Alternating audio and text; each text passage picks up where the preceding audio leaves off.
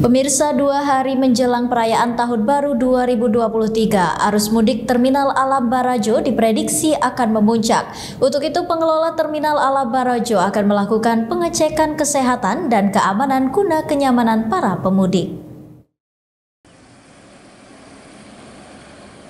Terminal Alam Barajo Jambi hingga kini masih sepi dari pemudik yang melakukan perjalanan arus mudik baik kedatangan maupun keberangkatan. Pantauan di terminal tipe A ala Barajo khusus angkutan antar kota antar provinsi itu hanya ada beberapa bus yang datang dan berangkat. Umumnya kedatangan dari Pulau Jawa dan keberangkatan pun juga tujuan Pulau Jawa. Berdasarkan data dari Terminal Alam Barajo, secara keseluruhan untuk jumlah keberangkatan penumpang bus antar kota dan provinsi selama 1 Desember hingga 26 Desember 2022 ini ada 7.268 orang dengan jumlah bus 347 unit. Sementara untuk jumlah kedatangan penumpang ada sebanyak 2.393 orang dengan jumlah bus 156 unit.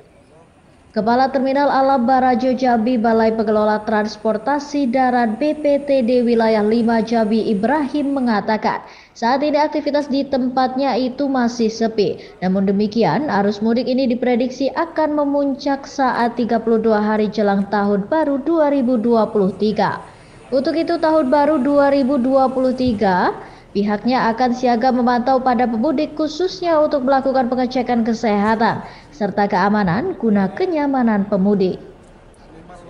Itu diprediksi kapan memuncaknya Pak?